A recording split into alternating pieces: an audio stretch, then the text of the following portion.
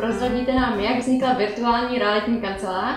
Určitě. Virtuální realitní kancelář eh, vlastně je unikátní koncept eh, vlastně realitní kanceláře eh, a propojení IT firmy na bázi nejnovějších IT technologií. Je to trošku složitý, složitý název, ale chceme lidem ukazovat nemovitost v reálné podobě, proto vlastně natáčíme nemovitosti vlastně děláme virtuální prohlídky, děláme video prohlídky a teď nově letecké pohledy.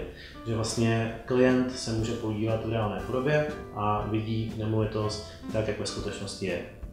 Aha, takže pro mě jako pro klienta to znamená, že přijdu na vaše stránky a můžu z pohodlí domova prohlížet všechny reality? Přesně tak.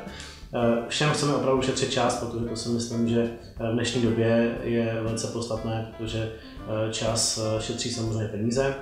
Takže proto si můžete vchodu z domová z práce, kdykoliv se podívat vlastně na virtuální podobu té nemovitosti, ale samozřejmě v reálné podobě. A buď vlastně půjdete na prohlídku, nebo nepůjdete, tím pádem nemáme prokázáno, že 30 prohlídek třeba jsou pouze dvě nebo tři.